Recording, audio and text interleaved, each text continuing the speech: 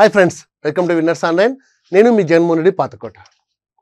ఈరోజు Telangana police constable mains ఎగ్జామ్లో భాగంగా మన జాగ్రఫీ విభాగం నుంచి వచ్చినటువంటి ప్రశ్నలు వాటికి సంబంధించినటువంటి సమాధానాలకు ఏంటిదన్నటువంటి అంశం చూద్దాం. ముందుగా మీకు ఒక మాట అగత్యం ఒకటి ఉంది. యథావిధిగా వచ్చినటువంటి ప్రశ్నలన్నింటినీ మన క్లాసులలో మరియు మన విన్నర్స్ ఇండియన్ జోగ్రఫీలో దాదాపుగా తొంభై ఐదు శాతం ప్రశ్నలు. ఒక్క ప్రశ్న మాత్రమే మిస్ అయింది. మిగిలినటువంటి మొత్తం పదకొండు ప్రశ్నలు పది ప్రశ్నలు మన పుస్తకం నుండి రావడం జరిగింది. రైట్? ఇందులో మనకు మొదటి ప్రశ్న భూ అంతర్భాగమును ఈ విధంగా కూడా అంటారు. At core is also known as భూ అంతర్భాగాన్ని మూడు పొరలు ఇక్కడ మీరు గమనించండి. మనం చిన్నప్పుడు నుంచి చదువుకున్నాం. నిన్న కూడా నేను చెప్పాను. భూపటలము భూప్రావారము భూకేంద్ర మండలం క్రస్ట్ మ్యాంటిల్ కోర్. లేకపోతే సియాల్ సీమ నీఫే. ఇది కాకుండా నేను మీకు ఇంకొక వివరణ కూడా చెప్పడం జరిగింది. పైన ఉన్నటువంటి పొరను లిథోస్పియర్ సెకండ్ లేయర్ను మిసోస్పియర్ మూడవ ఆవరణాన్ని థర్డ్ లేయర్ను బ్యారీస్పియర్ అంటాం. బ్యారీ మీన్స్ అధిక. అధిక సాంద్రత ఉన్నటువంటి ప్రదేశం. సో ఇక్కడ ఆన్సర్ ఏముంది మనకు? బ్యారిస్పియర్ చూడండి ఇక్కడ. బ్యారిస్పియర్ ఇది ఆన్సర్ రైట్ అందుకే నేను తరచుగా జాగ్రఫీ చెప్తున్నప్పుడు మీకు ఇంగ్లీష్లో పదాలు నేర్చుకోండి. జాగ్రఫీకి సంబంధించినటువంటి టర్మినాలజీలో ఇంగ్లీష్ వర్డ్స్ నేర్చుకోండి నేర్చుకోండి అని మనం చాలా సందర్భాలు చెప్తూ వస్తున్నాం. ఇక్కడ చూడండి. బట్ ఇక్కడ తెలుగులో కూడా మళ్ళీ మనకు భారావరణం అన్నాడు. అంటే బ్యారిస్పియర్ రైట్ ఇది మనకు మన బుక్లో ఫోర్ ఎయిటీ ఎయిట్ పేజీ మీరు ఓపెన్ చేస్తే ఈ ఆవరణాన్ని బ్యారిస్పియర్ అని కూడా అంటారు అని నేను మీకు అక్కడ నోట్ చేయడం జరిగింది. మీరు ఒకసారి చెక్ చేసుకోవచ్చు. సెకండ్ వన్ డెబ్బై మూడవ ప్రశ్న. Tropic of cancer passes through dash states ఇక్కడ ఒక చిన్న సందిగ్ధం ఉంది. ఓకే? మనం ఈ ప్రశ్న మనం ఫైనల్ కీ వరకు వెయిట్ చేద్దాం. ఒడిస్సా బీహార్. ఇక్కడ మీరు గమనించవలసినటువంటి అంశం ఏంటిదంటే ఓకే ఒడిస్సా మాత్రమే కరెక్ట్ ఆన్సర్. బీహార్ కాదు. ఒకటి బీహార్ అండ్ ఉత్తరప్రదేశ్. ఉత్తరప్రదేశ్కు మనకి ఇక్కడ గమనించినట్టయితే మళ్ళీ బీహార్ కాదు. ఓకే? మళ్ళీ ఉత్తరప్రదేశ్ కూడా కాదు. మహారాష్ట్ర అండ్ గోవా. మహారాష్ట్రకు గోవాకు ఇక్కడ ఉన్నటువంటి కర్కట రేఖకు ఎలాంటి సంబంధం లేదు. ఇక మనకు మిగిలి ఉన్నటువంటి ఆప్షన్ ఏంటి? మణిపూర్ అండ్ ఛత్తీస్గఢ్. వాస్తవానికి ఛత్తీస్గఢ్ సరైనటువంటిది. బీహార్ సరైనటువంటిది. చూడండి ఒకసారి మనకు ఏడు స్టేట్స్ ఏ ఉంటాయో మిజోరాం త్రిపుర రైట్? రెండు ఈశాన్య రాష్ట్రాలు. Paschim Bengal Jharkhand right Chhattisgarh Madhya Pradesh Rajasthan and Gujarat. కానీ ఇందులో మనకు బీహార్ అన్నటువంటిది లేదు. కానీ ఎగ్జామినర్ బీహార్లో భాగమైనటువంటి జార్ఖండ్ను పరిగణలోకి తీసుకున్నాడా? సో ఇప్పుడు ఉన్నటువంటి నాలుగు ఆప్షన్లలో మనకు సరైనటువంటి సమాధానం లేదు. ఇక్కడ మిజోరాం ఉండి ఉన్నట్టయితే ఫోర్త్ వన్ కరెక్ట్ అయి ఉండేది. సో నాకు తెలిసి దీనికి అందరికీ ఆన్సర్ ఇవ్వడానికి ఆన్సర్ ఫర్ ఆల్ ఇవ్వడానికి ఈ డెబ్బై మూడో ప్రశ్నకు అవకాశం ఉందని నేను భావిస్తున్నాను. Right? Next question. Eighty fourth ఇక్కడ ఉన్నటువంటి ఎయిటీ ఫోర్త్ క్వశ్చన్ ఏంటిదంటే ఇక్కడ ఉన్నటువంటి ఓడర్ ఏవులను చూడండి. ఇక్కడ ఉన్నటువంటి ఓడర్ ఏవులను identify the state where port is located state and match the following ఇక్కడ రెండు అంశాలు మీరు గమనించండి. సాధారణంగా మనం ఓడరేవులకు ఒక ప్రత్యేకమైనటువంటి పేరు ఇస్తూ ఉంటాం. ఉదాహరణకు ఇక్కడ ఉన్నటువంటి కామరాజార్ ఫోర్ట్ లిమిటెడ్ అన్నటువంటిది మద్రాస్కు ఎగువన ఉన్నటువంటి ఎన్నోర్ ఓడరేవుకి ఇచ్చినటువంటి పేరు. ఎన్నోర్. అలాగే జవహర్లాల్ నెహ్రూ పోర్ట్ అన్నటువంటిది. మహారాష్ట్రలో ఉన్నటువంటి నవసేన ఓడరేవు గల పేరు. ఇక్కడ ఓడరేవులకు సంబంధించినటువంటి అంశం ఇవ్వకుండా ఇక్కడ ఇచ్చినటువంటి ఓడరేవులు ఏ రాష్ట్రంలో ఉన్నాయి అన్నటువంటి ప్రశ్న ఇచ్చాడు. సో మీరు ఇక్కడ కొంచెం జాగ్రత్తగా ఇక్కడ మళ్ళీ మనకు ఏకంగా ఐదు ఓడరేవుల పేరు ఇచ్చాడు. ఇందులో మీరు గమనించినట్టయితే చూడండి. ప్రదీప్ దీన్ దయాల్ నెహ్రూ శ్యామ్ ప్రసాద్ ముఖర్జీ కామరాజర్ ఫోర్ట్ లిమిటెడ్ ఎప్పుడైనా ఇలాంటి కొంచెం సందిగ్ధమైనటువంటి ప్రశ్నలు మీకు వచ్చినప్పుడు మీకు ఖచ్చితంగా వచ్చినటువంటి ఒక ఓడరేవును ముందు చూజ్ చేసుకోవాలి. ఒక ఆప్షన్ చూజ్ చేసుకోవాలి. అంటే ఇప్పుడు చూడండి మనకు. ఇవి ఎక్కడెక్కడ ఉన్నాయి అన్నటువంటి అంశం తీసుకున్నట్టయితే కామరాజర్ ఫోర్ట్ లిమిటెడ్. నేను ఇందాక మీకు చెప్పినటువంటిది కామరాజర్ ఫోర్ట్ లిమిటెడ్ ఎన్నోర్ ఓడరేవ్ తమిళనాడు. సో ఈకి ఆప్షన్ మనకి ఎక్కడుంది? ఈకి ఇక్కడ థర్డ్ ఆప్షన్. అది పక్కా మనకు తెలిసింది అనుకోండి మీరు. అటువంటిప్పుడు త్రీ ఆప్షన్స్ ఉన్నవి ఇంకా ఎక్కడన్నా ఉన్నాయా వెతకాలి? అంటే ఇప్పుడు మొత్తం నాలుగింటిలో త్రీ ఆప్షన్ ఉన్నటువంటివి అంటే ఈకి త్రీ ఆప్షన్ ఉన్నటువంటివి రెండు ఉన్నాయి అంటే ప్రాబబిలిటీ శాతం పెరిగినట్టు కదా. ఇప్పుడు మనకు ఇంకా తెలిసి ఉన్నటువంటి ఓటర్ ఎవరిని మనం వెతుక్కోవాలి. ఇప్పుడు ఉదాహరణకు నెహ్రూ పోర్ట్. నవసేన. బొంబాయి ఓడర్ యొక్క శాటిలైట్ పోర్ట్ నవసేన. అది మహారాష్ట్రలో ఉంది. సో మహారాష్ట్ర ఆప్షన్ చూద్దాం ఇక్కడ. సికి ఫోర్త్ ఆప్షన్ సికి ఫోర్త్ ఆప్షన్ సికి ఫోర్త్ ఆప్షన్ ఇక్కడ ఉంది. కానీ ఇక్కడ ఇది లేదు కదా? సో ఆన్సర్ ఏమైంది? Fourth is the right answer ఎప్పుడు కూడా ఇదాన్ని చేయాలి మీరు. ఇప్పుడు మనకు ఒకసారి చూద్దాం. ఏ ప్రదీప్ పోర్ట్ అన్నటువంటిది ఒడిశాలో ఉన్నటువంటి ఓడరేవు. వదిలేద్దాం. Second one Deen Dayal B బికి one Gujarat గుజరాత్లో ఉన్నటువంటి కాండా ఓడరేవుకు ఎన్డీఏ ప్రభుత్వం వచ్చిన తర్వాత దీన్ దయాళ్ ఓడరేవుగా పేరు మార్చడం జరిగింది. అలాగే సి ఇందాక మనం చెప్పుకున్నాం ఫోర్త్ అంటే డీకి సంబంధించి శ్యామ్ ప్రసాద్ ముఖర్జీకి సెకండ్ కోల్కతా. తర్వాత ఈ ఆల్రెడీ మనం చెప్పుకున్నాం Kamarajar port limited Tamil Nadu. So answer ఏమైందండి మనకు? Fourth is the right answer. ఇలాంటి ఆప్షన్స్ వచ్చినప్పుడు వాస్తవంగా మనం చేయడం కొంచెం ఈజీ అవుతుంది. కొంత టైం తీసుకుంటుంది కానీ ఈజీ అవుతుంది. Next question one nought two astronomical geography నుంచి ఈ ప్రశ్న ఇవ్వడం జరిగింది. ఖగోళ భూగోళ శాస్త్రం నుంచి కొంచెం హార్డ్ క్వశ్చన్ ఇచ్చాడు. సౌర వ్యవస్థలోని గ్రహాలు వారి యొక్క చంద్రుల సంఖ్య ఆధారంగా అవరోహణ క్రమంలో అమర్చండి. సాధారణంగా ఇక్కడ మనం అత్యధికంగా చంద్రుడు అంటే శాటిలైట్స్ ఉపగ్రహాలు. ఆ ఉపగ్రహ సంఖ్య అత్యధికంగా ఉన్నటువంటిదో అత్యల్పంగా ఉన్నటువంటిదో అన్నటువంటి ప్రశ్న అడగడం మనం సాధారణంగా చూస్తూ ఉంటాం. కానీ ఇక్కడ ఏం చేశాడంటే మొత్తం అంటే సౌరస్ వ్యవ- కుటుంబంలో ఉన్నటువంటి మొత్తం ఉపగ్రహాల సంఖ్య ఎక్కడెక్కడ ఉన్నాయి అన్నటువంటి తీసుకుంటూ ఎగ్జామినర్ ఇక్కడ చాలా తెలివిగా ఒక నిర్ణయం తీసుకున్నాడు. ఇక్కడ మీరు చిన్న అంశం గమనించండి. నెఫ్ట్యూన్ మార్స్ సటార్ యురేనస్ ఇచ్చాడు. ఇక్కడ మీరు సౌర వ్యవస్థలోని గ్రహాలు అన్నప్పుడు మనం ఫోర్త్కి వచ్చేసి fourth option is the right option. ఎందుకు ఎగ్జామినర్ ఇక్కడ కాసింత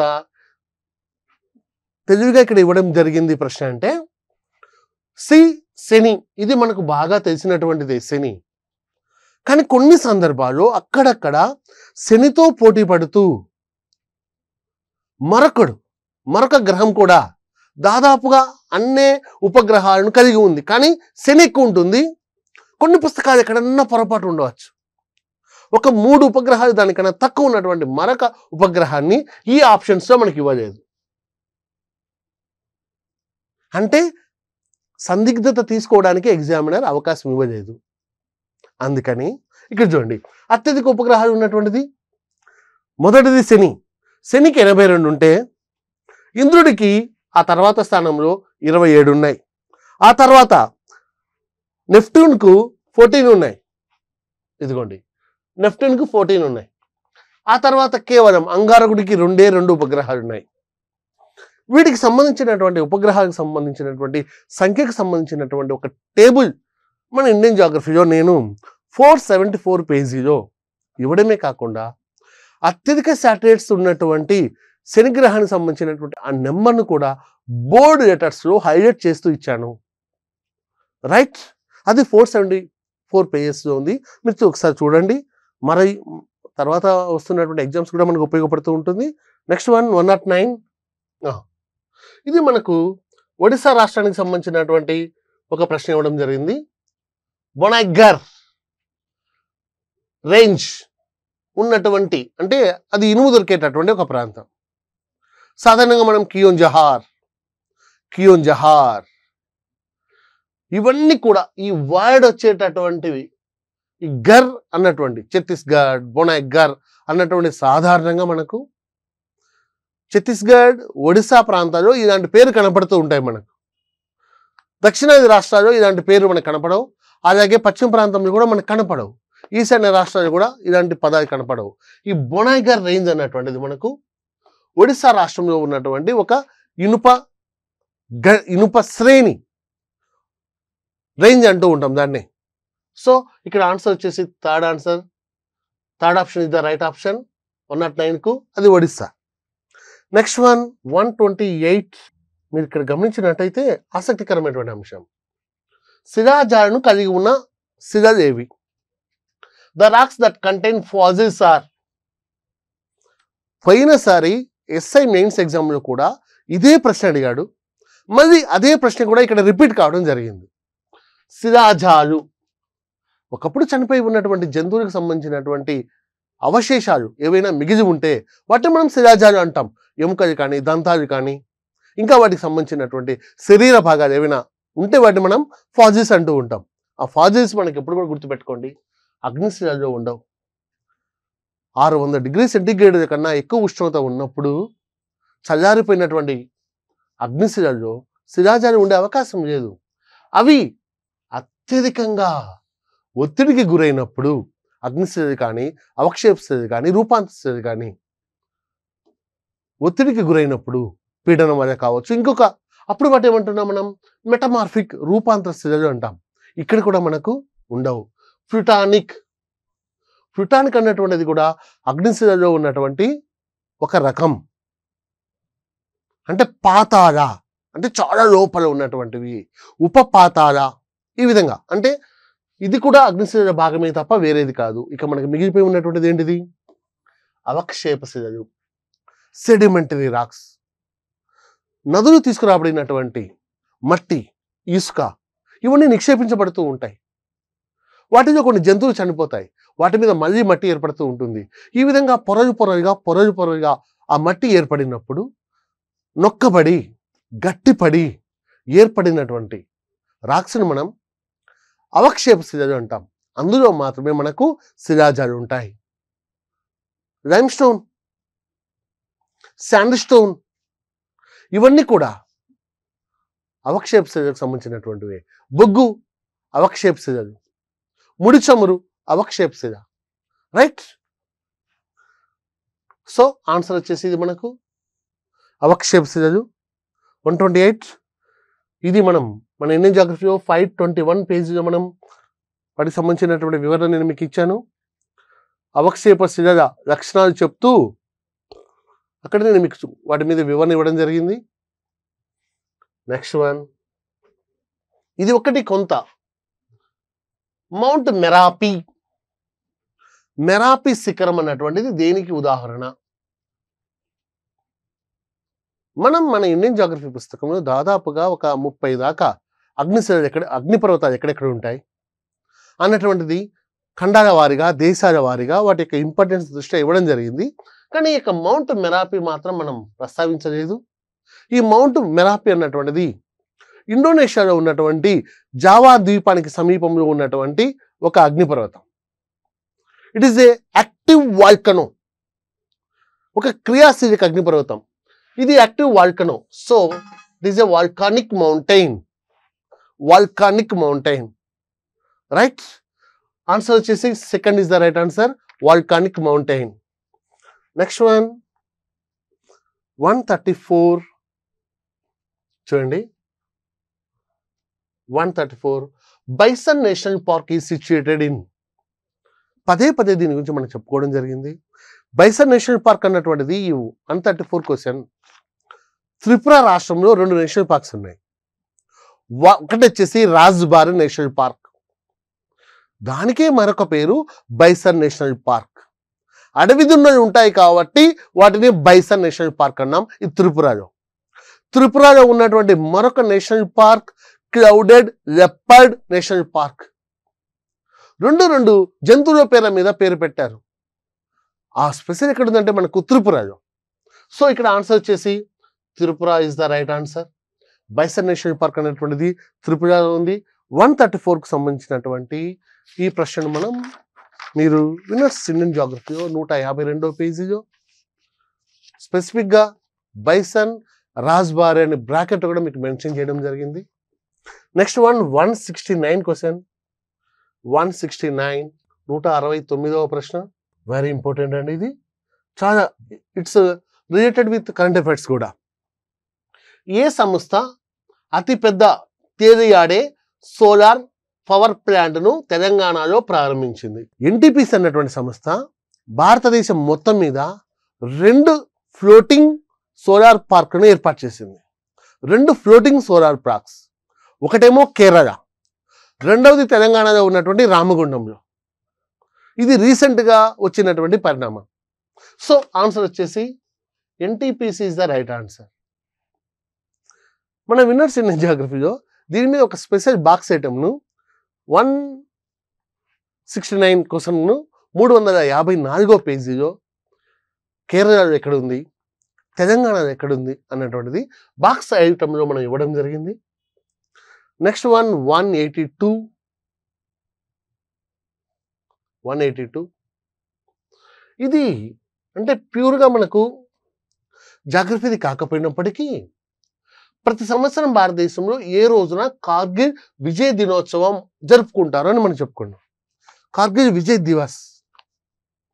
యాక్చువల్గా మనం కార్గిల్ ఎక్కడుంది అన్నది మన సబ్జెక్ట్ కార్గిల్ అన్నటువంటిది ట్రాన్స్ హిమాలయాలో భాగమైనటువంటి జస్కార్ శ్రేణుల పశ్చిమ భాగాన రెండు ప్రధానమైనటువంటి పట్టణాన్ని మనం ప్రస్తావించాం. One is Kargil second one is Dras Kargil అనేది యుద్ధపరం కాబట్టి దానికి ప్రాధాన్యత ఉంది. అలాగే భారతదేశంలో అత్యల్ప ఉష్ణోగ్రత నమోదయ్యేటటువంటి ప్రాంతం డ్రాస్. అది ఇవి రెండు కూడా అక్కడ ఉన్నాయని చెప్తూ ఈ కార్గిల్ యుద్ధం మే ఇరవై ఆరు నుంచి జూన్ ఇరవై ఆరు వరకు జరిగి జూన్ ఇరవై ఆరున ముగిసిపోయింది అని కార్గిల్ విజయానికి సంబంధించి విజయ్ దివస్ అన్నటువంటిది ఒక బాక్స్ ఐటమ్గా కూడా మనం ఇవ్వడం జరిగింది.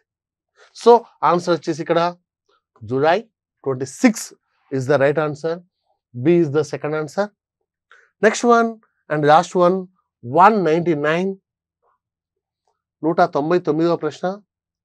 ఇందులో కొంచెం చిన్న సందిగ్ధత మీకు ఉంది దాన్ని నివారించే ప్రయత్నం చేస్తాను. తెలంగాణ రాష్ట్రంలో పులుల అభయారణ్యాన్ని గుర్తించండి. Tiger reserves. సాధారణంగా తెలంగాణలో ఉన్నటువంటి టైగర్ రిజర్వ్స్ అంటే రెండు. డైరెక్ట్ చెప్పేస్తాం. అర్ధరాత్రి నిద్ర చేపడిగిన తెలంగాణలో రెండు టైగర్ రిజర్వ్స్ అని చెప్పేస్తాం. అది మనకు బాగా తెలిసినటువంటిది. One is Amrabad. Second one is అంటే దక్షిణ భాగాన ఉన్నటువంటి అమ్రాబాద్ ఒకటైతే తెలంగాణ ఉత్తర భాగాన ఉన్నటువంటి కవాల్. రెండు టైగర్ రిజర్వ్స్ ఉన్నాయి. కానీ ఇక్కడ చూడండి options. The first one is Srisailam. Second one Kawal. Third one Amrabad. Fourth option చూడండి ఇక్కడ అదే వచ్చినటువంటి సమస్య. పైవన్నీ అన్నటువంటి అంశం ఇచ్చాడు. సరే ఇది ఎట్లా సాధ్యమవుతుంది? కవాయి తీసుకోనా అమ్రాబాద్ తీసుకోనా రెండు తెలుసు కదా. మనకు సమస్య వచ్చింది ఇక్కడ. శ్రీశైలం పులుల అభయారణ్యం అన్నటువంటి పైవన్నీ అన్ని తీసుకున్నప్పుడు శ్రీశైలం అన్నటువంటిది ఎక్కడుంది? శ్రీశైలం నాగార్జున సాగర్ టైగర్ రిజర్వ్ ఉన్నటువంటిది ఆంధ్రప్రదేశ్లో ఉంది. దాని నుంచి విడగొట్టబడినటువంటి ప్రాంతమే అమరాబాద్ టైగర్ రిజర్వ్. ఇది భారతదేశంలో అతి పెద్ద tiger reserve. Srisailam Nagarjuna Sagar tiger reserve లేకపోతే రాజీవ్ గాంధీ టైగర్ రిజర్వ్. దాన్ని కృష్ణానదికి ఎగువన అమరాబాద్ ప్రాంతంలో ఉన్నటువంటి దాన్ని ప్రత్యేకమైనటువంటి టైగర్ రిజర్వ్గా రాష్ట్ర విభజన తర్వాత ఏర్పరచడం జరిగింది. సో ఇక్కడ మీరు గమనించవలసిన అంశం ఏంటిదంటే రెండు ఆప్షన్స్ ఉన్నాయి కాబట్టి పైవన్నీ తీసుకోవాలి. అంతేకాదు. అమరాబాద్ అన్నటువంటిది ఎందులో భాగం? శ్రీశైలం పులుల అభయారణ్యంలోనే ఒకప్పుడు భాగం. సో ఇక్కడ మీరు ఖచ్చితంగా పై వన్ని అన్నటువంటి ఆప్షనే తీసుకోవాలి. వన్ నైంటీ నైన్కు పై వన్ని అన్నటువంటి ఆప్షనే తీసుకోవాలి. ఇది కూడా మనం మన వినర్స్ ఇండియన్ జాగ్రఫీలో ఆరు వందల ఎనభై నాలుగో పేజీలో దానికి సంబంధించినటువంటి వివరణ ఉంది. Okay friends. జాగ్రఫీకి సంబంధించి యథావిధిగా ప్రతి ప్రశ్న కవర్ అవుతూ సమకాలీన మార్పులను పరిగణలోకి తీసుకుంటూ ప్రతి కొత్త ఆర్థిక సర్వేను దృష్టిలో పెట్టుకుంటూ వర్తమాన కాలంలో వస్తున్నటువంటి మార్పులను పరిగణలోకి తీసుకుంటూ మీ ముందు మన జాగ్రఫీని ఉంచుతున్నాం. All the best thank you thank you very much